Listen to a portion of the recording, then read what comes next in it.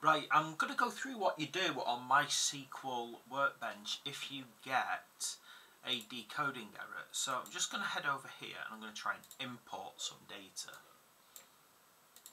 So if I head into Browse and find the data that I want to import and then just click Next.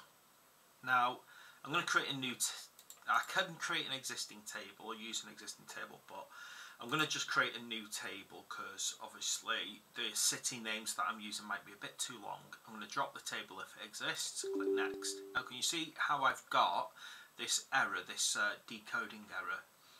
You will come across that frequently if the file that you are using has unusual characters, you know, outside what's known as UTF-8.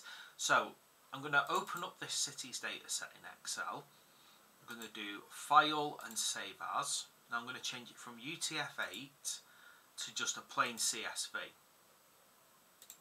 Save, overwrite the data.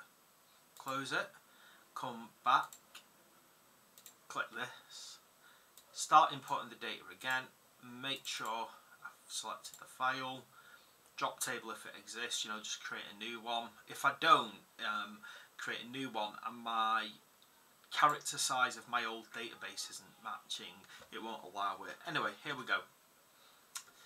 It now picks it up and I can map the fields. So I can obviously pick whatever I want here, but I'll just leave that because it seems to have worked it out.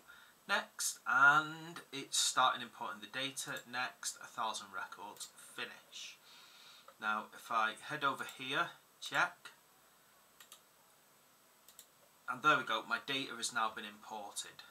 So that is how you solve that error.